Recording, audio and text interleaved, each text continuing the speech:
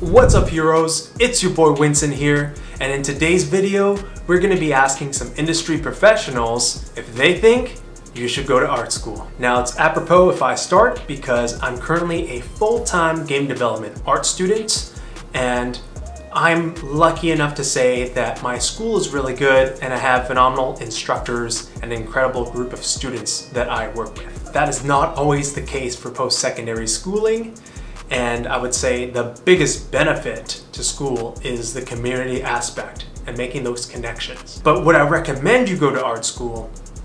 My answer is gonna be, it depends. You see, I'm learning things from not just character art, but environment art, prop art, narrative design, animations, UI, UX, level, just a lot of different things in the game dev industry.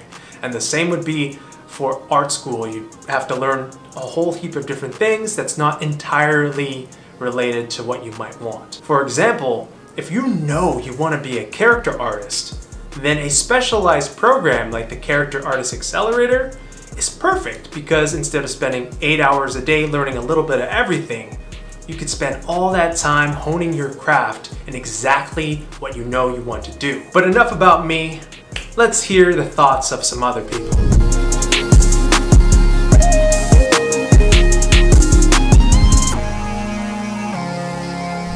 Hey Marlon here. So yeah, three reasons why to go for a traditional school versus more, more alternative and more modern school. So let's start obviously with the good parts, the three, the three good reasons why I think going to alternative is, is a better um, a better choice. Um, I think the major point for me going to go for, for example, online school like Art Heroes and, and so on, is for the updated content. One of the problems about traditional schools is that in most of the cases, in from even from what I experienced when when I was studying, is that I noticed that the content and what they're been, when they're teaching is quite outdated. And by the time you start working on the industry you realize that things doesn't work that way.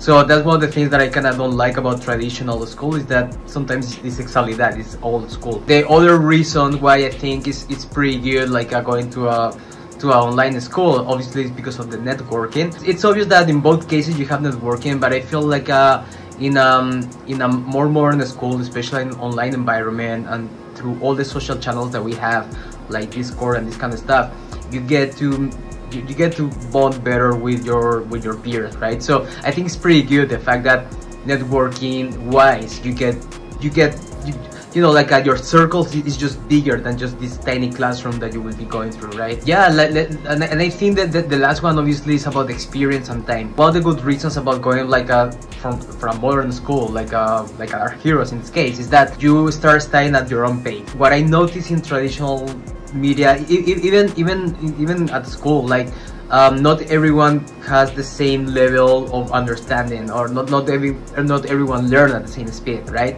So i think it's very important the fact that all the students and including yourself are able to learn at the pace that you feel like is the adequate for you. So that that's pretty cool the fact that it's more dynamic it's more stable in that sense and i think it's more doable at the end of the day rather than you you know having like a three four year career where eventually such a little knowledge you are going to you know, need eventually in your career right? So so yeah, I think I think those are the three ones that uh, it feels like more correct to me. So let's talk about the cons now. About um, right now, I only can find like two major reasons why it can be difficult to um, pursue like a more alternative. Uh, one obviously is the financial investment about it. Depending on the school or depending on the program, sometimes it can be expensive. And uh, if you actually don't get to use it, it's, it's just money wasted. Which kind of leads me to the second part, um, probably is the, the, trickiest part when it comes about like um, about this type of academia, academia. Sorry. The second part is mostly about the fact that you have to push yourself. Now, normally in a more traditional environment, since you are physically there and since you have a more stable schedule and so on, uh, it's easier to go through the pace of the course or through pace every year, right? By also by having exam exams by the end of the trimester or semester and this kind of stuff. So uh, in a more online environment, in a more like a modern uh, school, obviously you have to push yourself because uh, eventually you are the one who, who, who actually is looking for that knowledge, right? So that's probably where, where I noticed that most of the, the not most of the people, but uh, there, there are like some people that just struggling about finding time, you know, like uh, also trying to find also that energy, that courage to to kind of try it. But yeah, it's it's part of the it's part of life. I mean, uh, in, in my opinion, it's, it's quite normal. So yeah, those are the two major like cons that I can see about uh, you know like um, more like a modern uh, school. Hey everyone, Gio here. So the question is, uh, what are my thoughts on those looking for art school versus those looking for alternative ways to get into the industry? Really important uh, question and, and subject. Uh, I feel like for me to be able to answer it, I need to give a quick insight on my background and how I started in this industry. So like a lot of people uh, in my generation, you know, we saw Jurassic Park, uh, was inspired by it, wanted, wanted to work for ILM doing CG as, as a vocation. Um, that was definitely me. So what, what were my options to get there? For me, the only, only thing that mattered was to, to start working as soon as I could. And so I found this one year diploma, fast and cheap, that I took.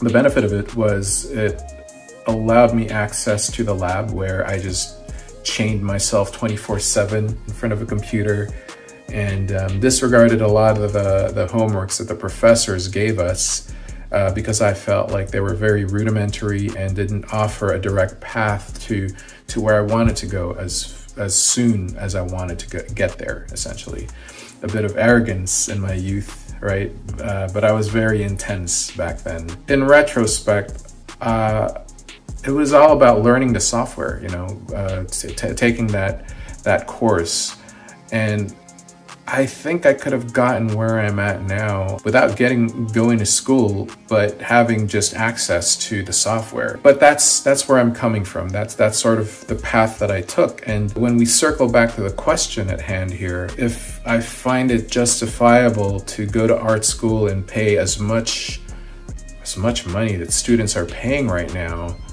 and then layered on top of that the concern of where the industry's headed, you know, there's a lot of uncertainty, you know, to be honest, uncertainty and, and fear. I talk to a lot of students and people wanting to get into this industry, and there's a lot of that going on. And I just don't feel that it makes sense to pay so much money for schooling when you have the alternative path of learning from the internet, essentially, right? Like uh, you have access to almost a limitless amount of information on anything you want to learn with regards to software or you know you want to learn from a masterful artist you know they're there sharing valuable knowledge for free or can offer cheap uh, mentorships and workshops that are so affordable compared again to um, spending as much as you would in, in multiple year uh, course or class. Um,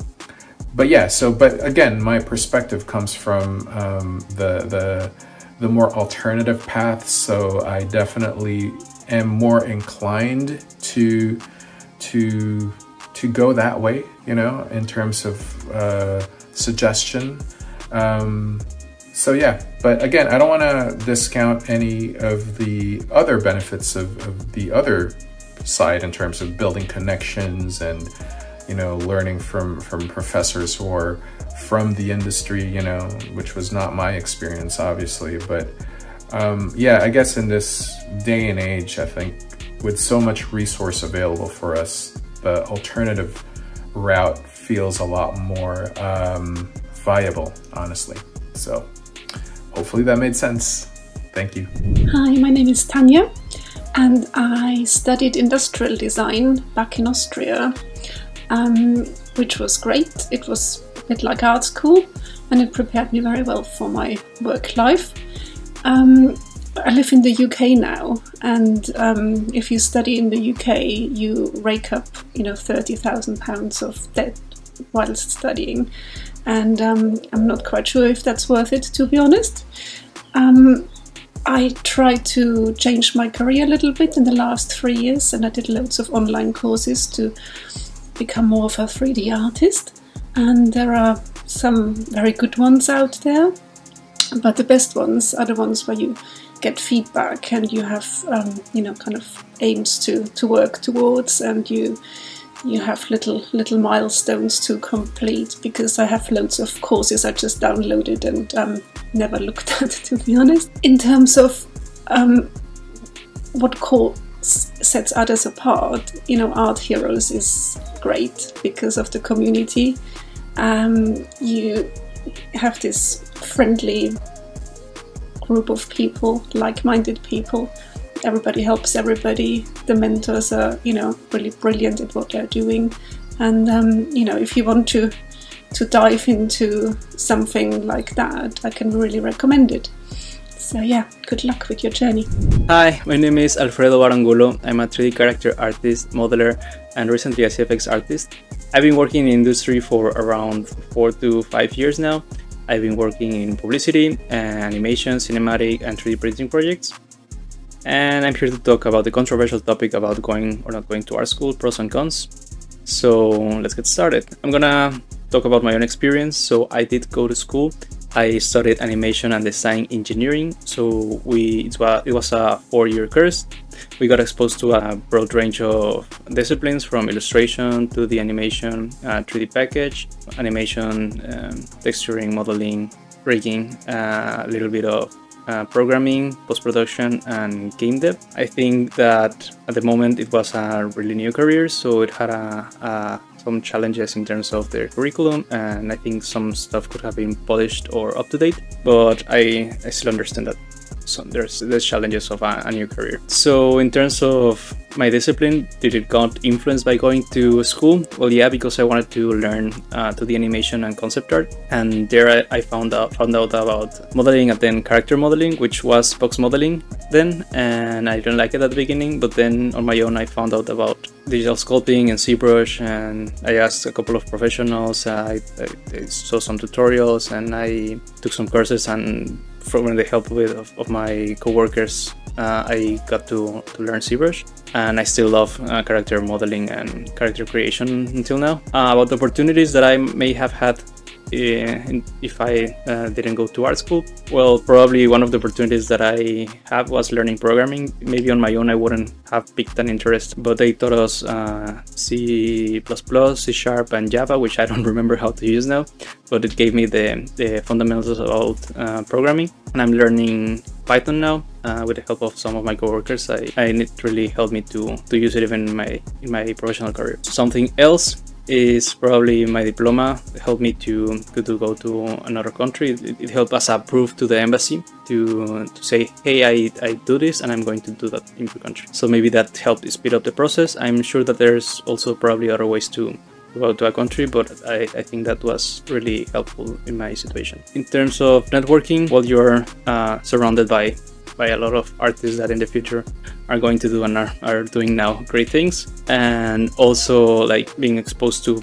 all the things that they like so you get to meet a lot of artists that you probably didn't get to know if you didn't go with them. Also you you meet your, your instructors. Some of your instructors are professionals and you get to meet other professionals from the local industry. Or even if they're working like online, you get to, to meet hear these names and like have that chance to talk with them. I got the opportunity to meet a lot of uh, amazing artists in that way. Did art school prepare me for my career? Yeah, but I still needed to do some things uh, in on my own. Like I still took some courses to to improve my my craft and to get better at what I, I wanted to do. It gave me the fundamentals about all these broad different disciplines, but also it gave me the, the tools to to learn how to learn in an orderly way. If you didn't go to art school, there are also many ways that you can still learn. There's a lot of courses and academies online, uh, a lot of tutorials online, there's a lot of resources that people are putting out there. So in that way, and by taking courses and on my own, I, I started to learn Maya and Blender and that kind of stuff. I did specialized. I, I took some on character modeling. One of them was uh, the Art Heroes one. I learned from my coworkers. Uh, they gave me some like private lessons in terms of anatomy and uh, so much stuff. Like I, have been doing so much stuff to try to, to improve myself. In terms of networking, there's, there's uh, a lot of stuff. So in servers and groups and like Facebook groups or like in Reddit or that kind of stuff, make a couple of friends and start to, to learn together. So you can still get this experience of, of being surrounded by other people that are trying to learn and having some quick answers. So that's also like um, a about going to school, you are surrounded by your teachers, some professionals, or stuff that you can ask. Uh, you can also take mentorships and that kind of stuff. So there's many ways that you can still grow and learn as an artist. By learning by yourself, uh, there's a lot of freedom in terms of what you want to learn. Like if you want to learn that specific thing, you just go and learn that specific thing.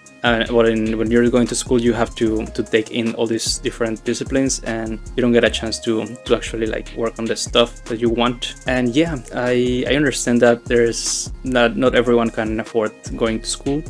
Uh, please if you're still deciding, uh, take into consideration what are your needs, uh, what what are the resources that you have, and what's your situation, and choose what's better for you. I think there's there's not a single way to to learn how to be a, an artist or like a 3D artist. Yeah, just be critical about the, the steps you're taking, and if you if you want to go to school, go and, and ask someone that has gone to that school and ask for their opinion and, and their experience. Uh, so that's all from me, and I hope this, this was helpful and insightful. My name is Brad Myers. I'm a lead character artist in video games, and I've been working on AAA games since about 2008. Um, the question today is about what I recommend folks to go to school and just um, school in general between traditional ways and non-traditional. Um, I did go to a more traditional game design focused type school. Um, it was extremely expensive, um, and then I ended up having to learn a lot of my own anyway. So for me, that school I wouldn't really recommend um, because at the end of the day, uh, no one's gonna pay you because you have a degree. Like it's really about what you can produce. And so really it's just about trying to get there, um, get to that quality level any way you can. And the way that I see it, as far as getting there, there's like two main facets to digital media.